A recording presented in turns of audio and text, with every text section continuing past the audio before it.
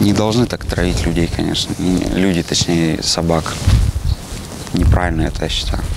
Павел Зайцев знает, о чем говорит. Именно он пытался спасти отравленного бродячего пса. Животное мужчина обнаружил вечером, когда собирался на прогулку со своим псом Ханом. Рассказывает, в пасти отравленной собаки была рыба. По совету ветеринара вместе с соседкой соленой водой он пытался промыть животному желудок. Я ветеринара вызвал, он сказал, что приедет. На второй раз я ему уже через некоторое время, там, может, 30 минут, там, чуть больше 30 минут позвонил. Э, Он говорит, что я сейчас на Крупской, потом в Новоалтайск, а потом к вам. Ну, какая собака так выдержит столько времени?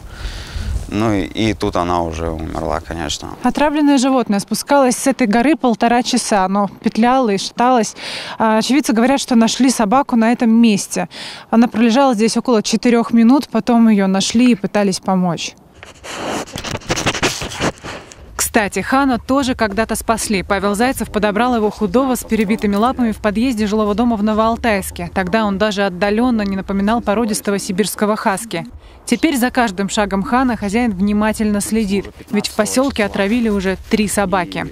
Ну их вот э, три отравил, э, одну нашли там на поляне, она и сейчас там лежит.